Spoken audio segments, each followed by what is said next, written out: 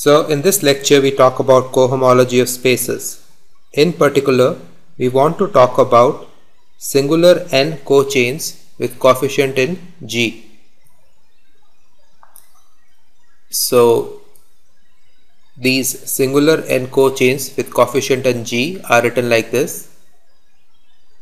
Yeah, this is nothing but the dual of singular chain group.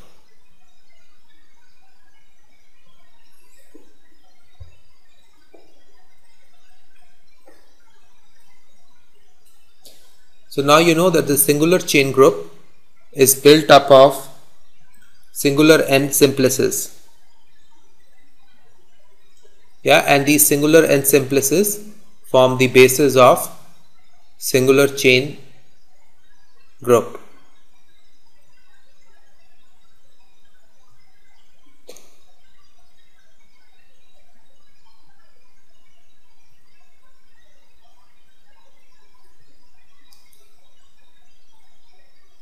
So take an element phi of this singular n cochain with coefficient in G and this takes sigma which is a singular simplex belonging to, to the singular chain group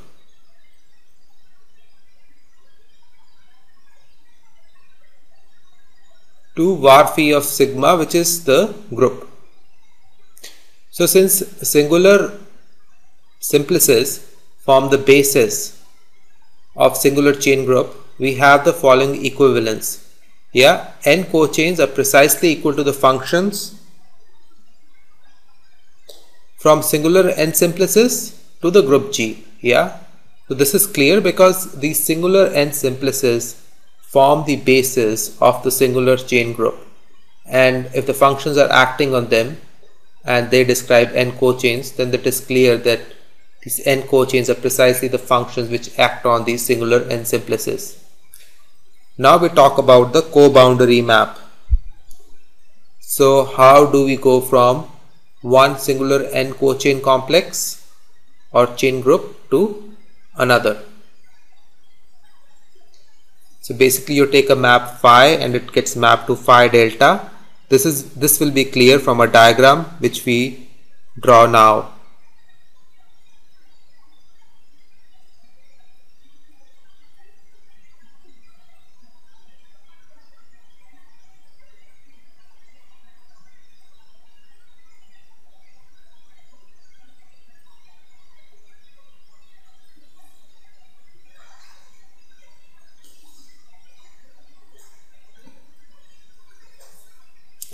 So first we draw the singular chain group. Yeah, so the chain complex associated with homology. This we have drawn multiple times where Cn, Cn plus 1 and Cn minus 1 are the chain groups associated in the complex which are connected by the delta maps. So you have delta here, you have delta here. So suppose this is the map phi and this is the map delta which maps phi to delta phi. Yeah, so you see application of delta is nothing but first you go in the chain complex from Cn plus 1 to Cn and yeah, so these two are both, so this is nothing, yeah, this we have seen multiple times. So you take this sigma and you apply delta phi to it which takes Cn plus 1 to G. So what does it happen? So you know delta phi is equal to phi delta because the, that is the commutative triangle yeah from Cn plus 1 to Cn to G. So you know the delta sigma we have done multiple times so that is precisely what delta sigma is. The only thing is that phi being a homomorphism these things come out. That is the summations minus 1 to the power of i. They filter out of phi. And what we get is the following map for the co-boundary. Now once we have defined the co-boundary map our motive is to show that delta square is 0 yeah? This follows trivially from other delta square being 0 so you just either show the definition or uh, you can say that the two maps delta square which I drew dotted in the previous diagram they filter out of other two maps or come out of other two deltas in the homology chain complex and therefore since delta square is 0 this delta square which is associated with the cochain complex is also 0 the beauty now is that we can actually define cohomology groups.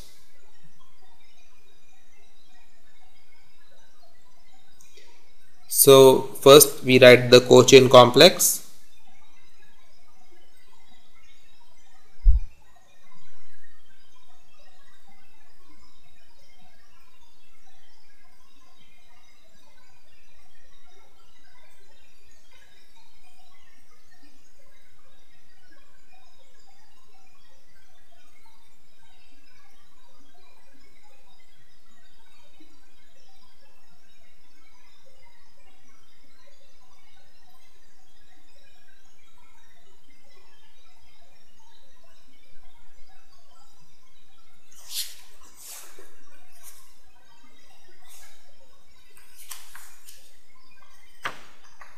and then we define the cohomology group.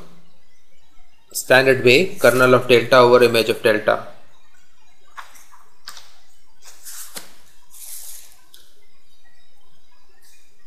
So this is the cohomology group.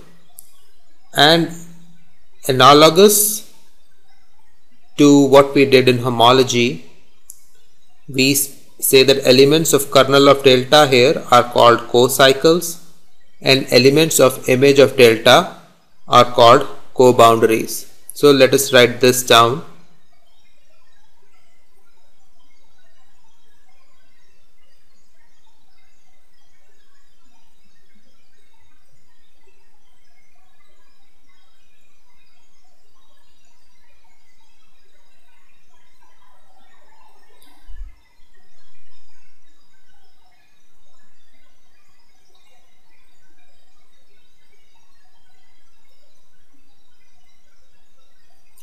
Okay, now let us recall universal coefficient theorem again.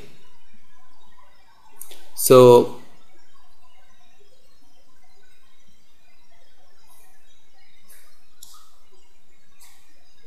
so you go from 0 to the extension group, to the cohomology group and to the dual of homology group.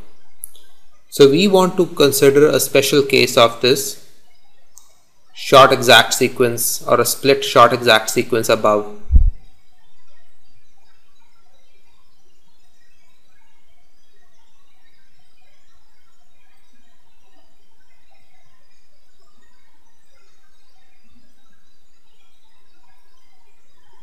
So the first thing we notice here is, which we will use again in the next slide, if n is 0, then the Ext term is 0 yeah the extension term is 0 precisely because extension term is nothing but an h1 and if we are just in 0 dimension this h1 does not exist. Or you can see directly we will have h minus 1 which does not make any sense here.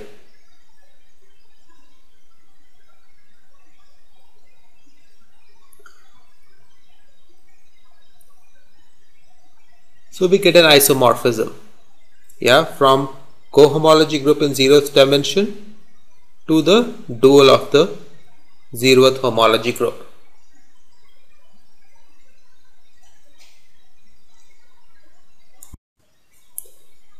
So now we want to talk about reduced cohomology group.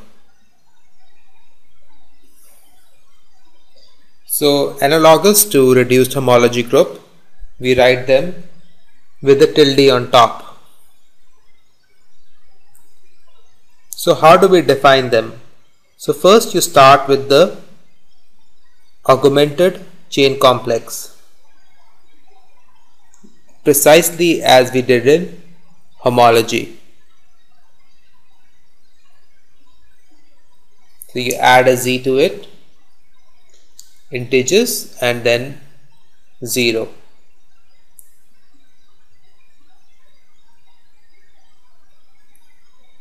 Now the idea is to dualize it. Yeah, because we are talking about cohomology groups, we have to dualize it. Once you dualize it, again take kernel of delta over image of delta and what you get is reduced homology groups. So precisely as in reduced homology we see for n greater than 0 there is absolutely no change. Yeah, so the reduced homology groups are same as the homology groups or I should say reduced cohomology groups are same as cohomology groups. So this is analogous to homology. So by universal coefficient theorem which we just showed on the previous slide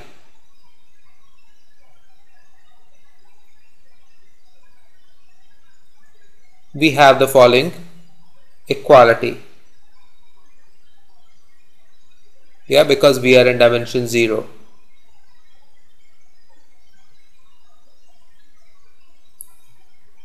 so for n greater than 0 the homology theory just carries over to cohomology theory. And the difference arises in dimension 0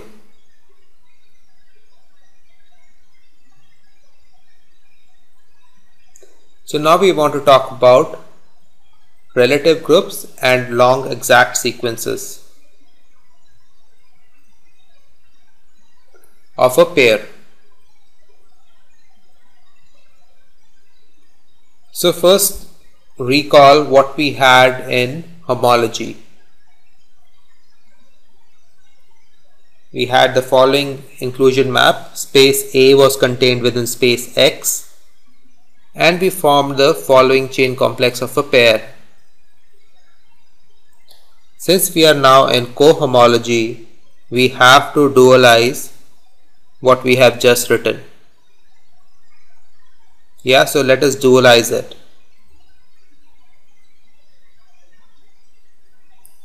So the beauty of the argument is that even after, after you dualize it, the sequence is still exact.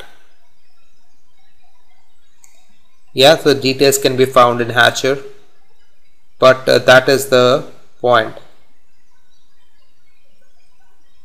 So basically now we have gotten a chain complex to ourselves and as we have seen before you give a chain complex and the best thing to do is to derive a long exact sequence out of it.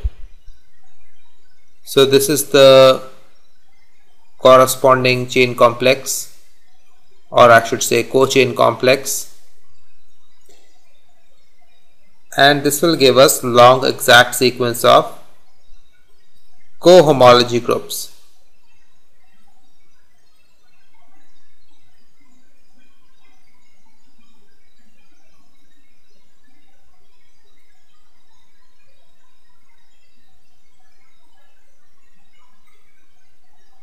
Yeah, so the only difference is the index in, in, instead of decreasing is increasing.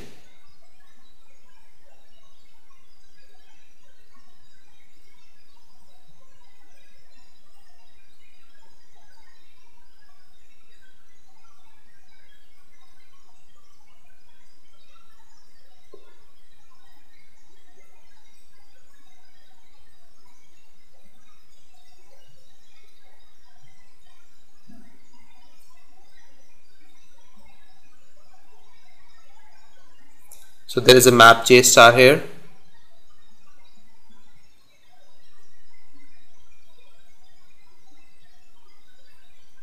I star here. These are just induced from the chain map above. And then we increase index by 1. Yeah, because this is precisely for the reason that the arrows in the co-chain complex are reversed compared to the chain complex.